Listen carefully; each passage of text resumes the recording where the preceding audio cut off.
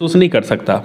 लेकिन मैं ये समझ ज़रूर सकता हूँ, समझने की कोशिश ज़रूर कर सकता हूँ कि उन कष्टों से आपने कैसे लड़ाई लड़ी है और समाज में आपने स्थान अपना बनाया है। आपसे लोगों को करूँगा नौकरी लेकर करके क्या करूँगा? बदित आप जैसे महान व्यक्ति से तो हमारी मुलाकात नहीं होती। शायद जितेंद्र को आप नहीं जान पाते। ठीक है आज हमारी दूसरी मुलाकात है। आप कह रहे थे कि काज फिर मिलेगा कि नहीं लेकिन जितेंद्र क्यों नहीं मिलेगा सर? ऐसा था आज भी ज़ीरो है। और हमेशा ज़ीरो रहता है सर।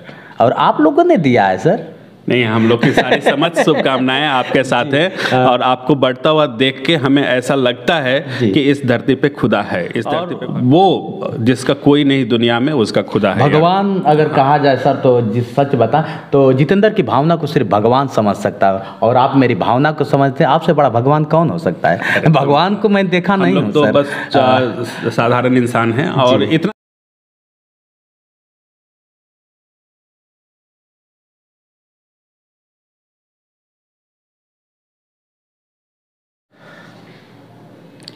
नमस्कार दोस्तों, मैं हूँ जितेंद्र दिव्यांग और आप देख रहे हैं मेरा यूट्यूब चैनल जोश एक्सप्रेस। कभी जब छात्रों की बात आती है, जीवन बनाने की बात आती है तो एस मिश्रा जी का नाम लिया जाता है। पटना में अगर देखा जाए तो धरातल से जुड़े हैं तो एस मिश्रा जी जुड़े हैं। ऐसे तमाम टीचर हैं, मैं ये नहीं कहूँगा। लेकिन अब तक, सन 2004 से लेकर 2022 तक जब कोई अगर नाम लिया जाता है तो एस मिश्रा जी का नाम लिया जाता है। आज हमारे यूट्यूब चैनल पे हैं एस मिश्रा जी, जो कि पटना के एक प्रसिद्ध टीचर हैं। और सोलहवा रैंक कभी ये था आई आप समझ सकते हैं कि आई में सोलहवा रैंक लाना कहीं ना कहीं है। ये शिक्षा है, शिक्षा कुछ भी कर सकता है। आइए इनसे ही जानते हैं कि स्थिति क्या रही होगी उस पल का जब सर एक आई रैंक में सोलहवा रैंक लाए होंगे। सबसे पहले तो आपका स्वागत है मेरे यूट्यूब चैनल जोश एक्सप्रेस पे sir. Thank you thank you Jitendra ji. कैसे हैं आप? बहुत अच्छे हैं सर। कृपा है कृपा है सर।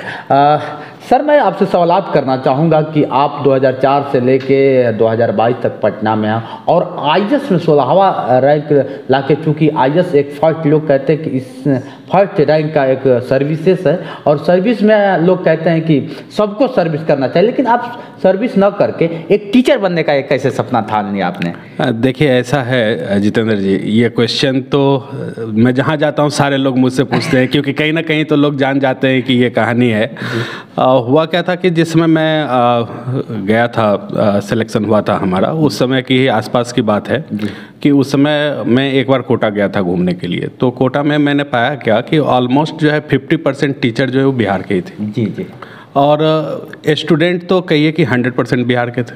जी। लगभग हंड्रेड परसेंट बाकी जगह की बात आप छोड़ दो। जी। बिहार के बच्चों ने कोटा को कोटा बनाया। जी।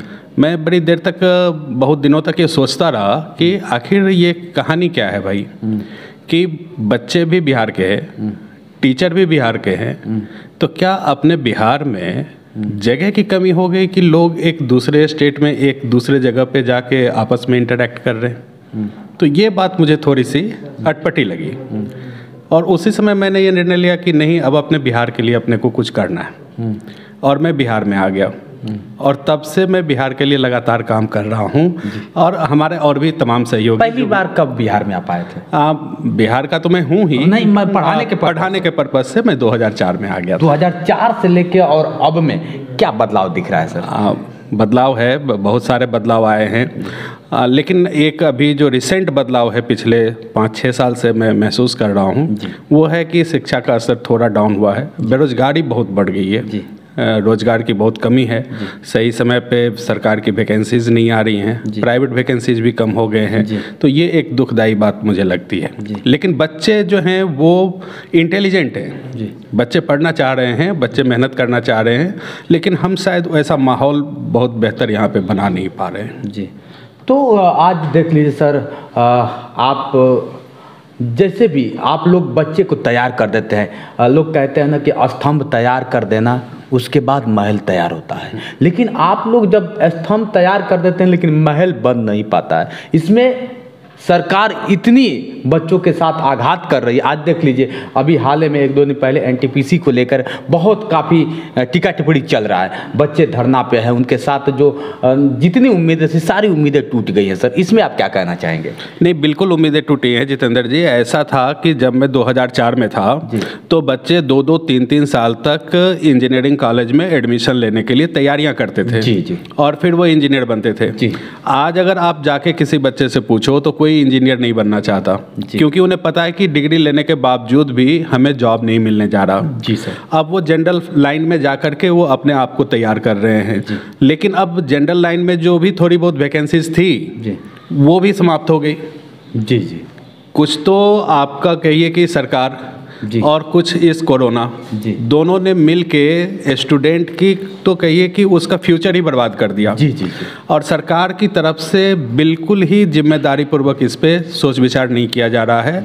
अब जो कुछ भी कारण रहा हो जो। भी उनकी मजबूरी रही हो जो। भी सरकार में है मैं नहीं जानता सरकार के अंदर की बात लेकिन बाहर से जो हमें लगता है कि उनके तरफ़ से कोई प्रयास नहीं किया जा रहा है कोई सहानुभूति पूर्वक विचार नहीं किया जा रहा है छात्रों की स्थिति पे ये अच्छी बात नहीं दुख तो होता ही है सर। बिल्कुल, बहुत अगर है। एक देखा जाए शिष्य जब सामने होता है टीचर के तो उसका रिश्ता एक बाप और बेटे का बिल्कुल, है। बिल्कुल। तो हमेशा अगर बेटे को कहीं आघात होता है तो बाप को दर्द होता है। बिल्कुल।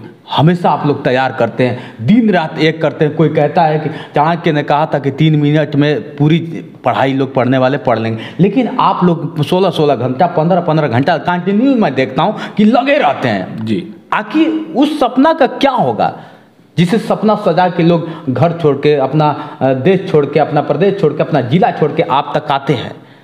लेकिन उनका सपना साकार नहीं हो पाता है। अब टूट जाता है सर इसके विषय में क्या? अभी तो जो प्रेजेंट सिचुएशन है वो तो यही है लेकिन हम लोग इंसान हैं। और इंसान के अंदर जिजीविषा होती है। स्थितियाँ कठिन हो सकती हैं। स्थितियाँ हो सकती हैं हमारे प्रतिकूल हों लेकिन हमें कभी आशा का दामन नहीं छोड़ना चाहिए। निराश नहीं होनी चाहिए और मेरा तो सारे यूथ से या अ, सारे लोगों से ये संदेश रहेगा कि कितनी भी विकट परिस्थिति हो जाए कितनी भी खराब स्थितियाँ हो जाए आशा बनाए रखो आज नहीं तो कल सूरज निकलेगा। जी। रात चाहे कितनी भी लंबी हो कितनी भी घनी हो आज नहीं तो कल सूरज निकलेगा। कुछ ना कुछ होगा। हमें तब तक लगातार मेहनत करना है थक हार के बैठना नहीं है। हमें आराम नहीं करना। नहीं सर कभी कभी उम्र भी खत्म हो जाता है। उम्र के पड़ाव पे आप सुने होंगे कि ऐसे में आके डिप्रेशन यूँ हो जाता है कि लड़की की फांसी तक दे देते हैं। आपने भी सुना होगा कि यूँ आ गया कि लड़के फांसी तक देना तो उनके लिए आप क्या कहना चाहेंगे सर?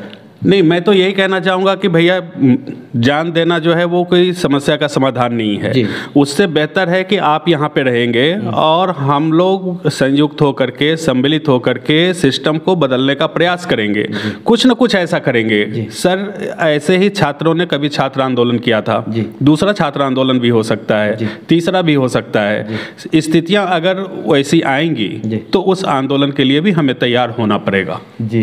आ, सही कहा आपने सर। कभी कभी लगता है कि छात्र अकेले हो जाते हैं। और छात्र उम्मीद अगर लगाते हैं तो एक टीचर से ही लगाते हैं कि उन्होंने मुझे इस काबिल बनाया है। तो सबसे अगर कोई कहता है कि सर अक्सर देखता है कि आंदोलन होता है तो लोग नेता को खोजते हैं। लेकिन जब टी, टीचर और स्टूडेंट के बीच में स्टूडेंट अगर आंदोलन करता है तो तुरंत पहले टीचर को खोजता है सर। तो उसमें भी देखा जाता है कभी कभी कि टीचर लोग सम्मिलित नहीं हो पाते हैं डरते हैं।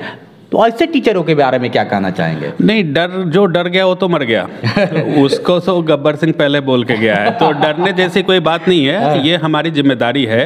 अगर मैं शिक्षक हूँ तो सिर्फ़ अपने परिवार को चलाना या पैसे कमा करके अपने आप को ठीक से रखना सिर्फ़ इतना ही अपना काम नहीं है। हमारी एक सामाजिक ज़िम्मेदारी है। हम कितने बच्चों को ट्रीट कर को सिखाते हैं उनको किसी काबिल बनाने का कोशिश करते हैं। और उनमें से अगर उनका सपना टूटता है तो उनके निराशा के क्षण में खड़े होने की ज़िम्मेदारी भी हमारी ही होती है जी। और हम उनके साथ हमेशा खड़े होंगे। जी। अ, सही कहा आपने सर। ऐसा लगता है लेकिन अगर देखा जाए तो उनसे मैं भी कहूँगा कि हताश होने की ज़रूरत नहीं है सर ने सही कहा। और मेरे द्वारा अगर देखा जाए तो मैं सीधा कहता हूँ किसी के यहाँ बहुत बड़ा नौकर बनने से अच्छा है कि एक छोटा सा मालिक बने। बिल्कुल बिल्कुल। आप भी चाहते तो। डीएम होते और डीएम बन के बहुत करते तो अपने ज़िले में भ्रमण करते और टेंशन पूरा दुनिया भर का होता। लेकिन आप आज न जाने कितने डीएम तैयार कर रहे हैं ये आपको खुद नहीं पता होगा।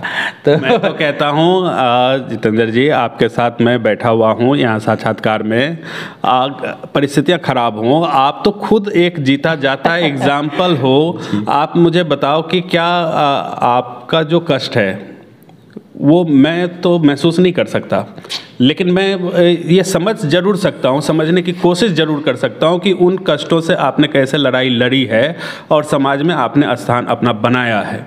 आपसे लोगों को सीख लेना चाहिए और मैं अपने यूथ को अभी भी बोलूँगा कि आप सीख लो कि आप भी कैसी भी विकट परिस्थिति हो जाए, निराशा का दामन मत थामना, आशा के साथ रहना, आशा, विश्वास के सहारे ही ज़िंदगी की नैया पार होती है और यही आपको मंजिल तक पहुंचाएगी। हाँ सर आपने शब्द जो कहा सच का है तो इसी समाज ने हमारे जैसे को अनभिज्ञ अनदेखा किया है।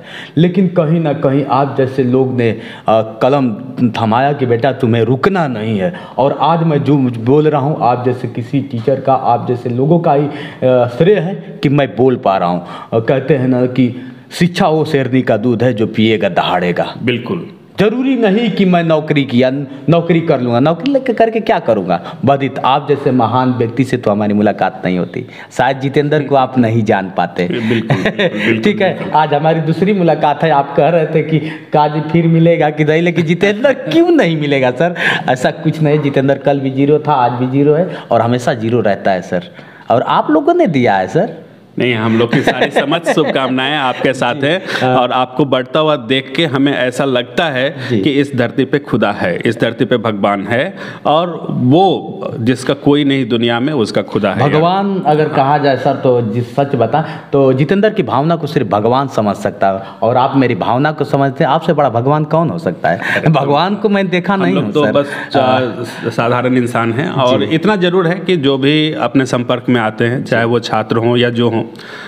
तो थोड़े संवेदना के साथ उनकी बातों को सुनते समझते हैं और उनके दुख दर्द को महसूस करने की कोशिश करते हैं और उनके साथ जुड़े रहने का प्रयास करते हैं। नहीं कुछ ऐसे टीचर भी होते हैं कि बहुत मतलब वो हो जाता है। मैं देखता हूँ वहाँ पर भी मिला था सहनशीलता गजब थी सरलता गजब थी। आज आपके ऑफ़िस में मिला हूँ सरलता गजब की है। वही सरलता आज भी दिख रही है। ऐसा नहीं कि नहीं ऑफ़िस पे आ गए मैं ऐसा होता भी है सर। ऐसा नहीं करना चाहिए सर। नहीं, अगर अगर देखा जाए तो एक शिक्षक को सेलिब्रेट लोग कहते हैं कि सेलिब्रिटी हो गया है। शिक्षक को कभी सेलिब्रिटी होना चाहिए कि नहीं सर होना चाहिए? आ, नहीं शिक्षक क्या सेलिब्रिटी होगा? शिक्षक तो शिक्षक होता है ये तो लेकिन कुछ लोग हैं सर इसी में कुछ लोग हैं कि अपने आप को सेलिब्रिटी मानते हैं। उनके लिए क्या कहेंगे सर? आ, नहीं घमंड तो क्या अच्छी बात नहीं है। अब लेकिन है कि नहीं सर? आप बताइए। ठीक है मैं नाम नहीं लेना बिल्कुल बिल्कुल बिल्कुल इसी धरती पे हर एक तरह के इंसान पाए जाते हैं। ऐसा होना चाहिए और हमेशा ये जितेंद्र जी ऐसा है ना कि धरती पे अच्छे बुरे जी। दिन रात। जी। ये एक ही सिक्के के दो पहलू हैं और दोनों तरह के लोग यहाँ पे उपस्थित हैं। जी। लेकिन ठीक है हम अपना काम कर रहे हैं वो अपना काम कर रहे हैं। इस पर कोई कमेंट जैसी बात नहीं। चलिए आपने जो कीमती समय दिया है जितेंद्र आजीवन रेडी है लास्ट सवाल करना चाहूँगा सर। आप हमारे जैसे दिव्यांग के साथ आज बैठे हैं ना जाने कितने यूट्यूबर कितने मीडिया वाले कितने अखबारों में आप चले होंगे। आज हमारे साथ बैठ के कैसा आभास हो रहा है? जितेंद्र जी ऐसा है कि आ, मैं आपके साथ स्पेशली बैठा हूँ और आपने मुझे कहा और आ, हमारे रितेश जी ने मुझे कहा मैं इनकार नहीं कर सका। जी।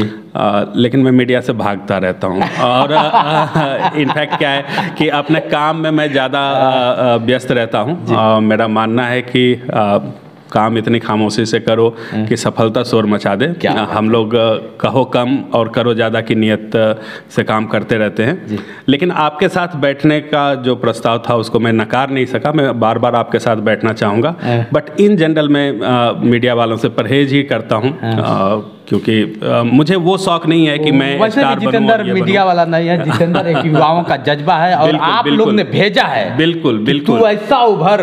कि दिखा दे। दिखा दे। दिखा दे। आप लोग नहीं हाँ। कहा कि तू लोग कहते हैं ना कि पंखों से उड़ान नहीं हौसलों से हौसलों से उड़ान होती हाँ? है? हिम्मत मर्दा मत दे खुदा। जी तो आप लोग नहीं कहा कि तू इतिहास नहीं भूगोल लिख दे। बिल्कुल। जितेंद्र भूगोल लिखेगा सर आप लोग बस और सही आशीर्वाद बिल्कुल हमारी शुभकामनाएँ हैं और मेरा मुझे मेरा विश्वास है जी। कि आप भूगोल लिखें। चलिए सर आज आपने मुझे उस सार्थक समझा। जितेंद्र आजीवन ऋणी है आपका और हमेशा ऐसे ही आपसे मिलता रहेगा और मुझे उम्मीद नहीं विश्वास है कि सर कहीं ना कहीं फिर दोबारा टकराव होगी। आज इसी वाणी के साथ विराम करते हैं। मैं हूँ आपका अपना जितेंद्र दिव्यांग और आप देख रहे हैं मेरा यूट्यूब चैनल जोश एक्सप्रेस। नमस्कार दोस्तों। प्रणाम सर।